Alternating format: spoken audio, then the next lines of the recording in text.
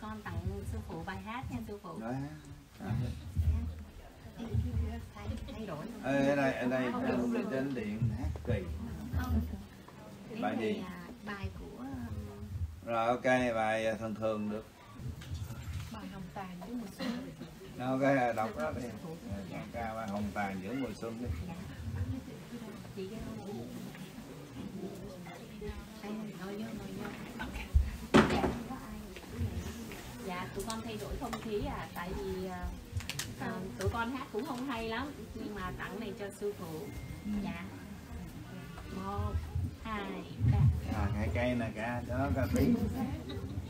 gì thôi có cái chị kia hát hay lắm nhưng mà giờ chỉ có ở đây thôi tụi con à, thay thế. rồi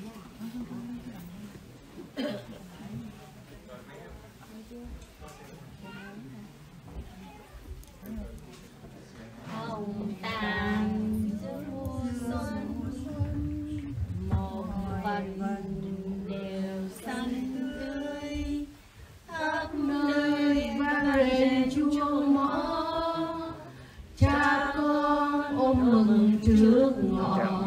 về Nam Việt Nam qua gửi cà phê cho cảm ơn cảm ơn. Việt Nam qua từ Việt Nam qua qua chuẩn bị qua về giờ qua chào. cái gì đó trao đổi mình để cho số điện thoại. có kết nối zalo với thầy.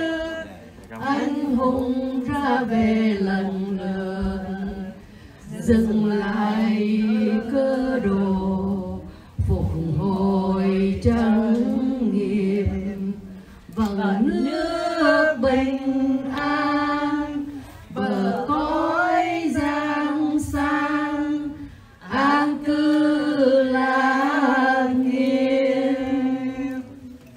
bạn này á là bài thơ bài thơ mà ngày hôm qua sư phụ ấy thì hôm nay bọn con trên trên đường đi lên thiên long sơn á thì ngồi cái tự ca thôi chứ không phải là bài nhạc bởi vì à, con của ông trời ở đâu có phải cà gù cà gặt đó không nhưng ở ngoài hiểu lầm đó mang họ thiên rồi chắc mấy bà bị điên. Làm gì điên mà làm nhạc lẹ kiểu này. Tại cứ nghĩ mình giống như phật tử ở dưới ra. mấy con rút chùa đi mấy con sẽ hiểu mình có chánh kiến.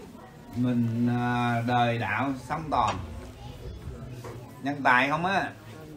Nhân tài nhân tài hết.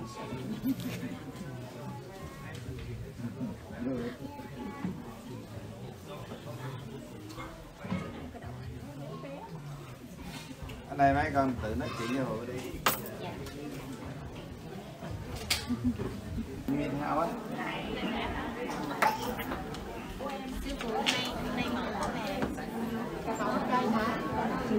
mẹ nãy có tới, mẹ đi, nhưng mà hiện giờ nè mấy cái thiên đứng đây đông lắm. Mấy cái thiên cũng ngồi nghe phụ nói chuyện á. Thì mấy cái thiên yêu cầu đừng có đứng gần tường, sẽ đụng các ngài á. Trong cái phòng này cái thiên đông lắm. Là cái gì mới nói với phụ Nam mô Di Đà Phật, à, quý vị, à, các à, anh chị em thân mến, à, các chư thiên đang ở đây với chúng ta và quý vị làm ơn đừng đứng gần sát tường nha quý vị. À, chắc à, chư thiên đang đứng lo đó. Dạ, cảm ơn.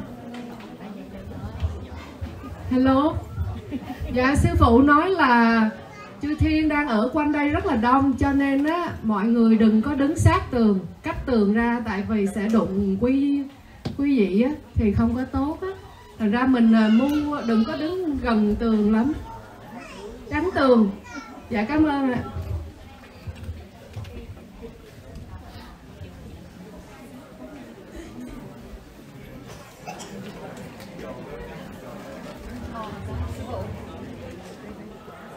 Còn cây kia đâu.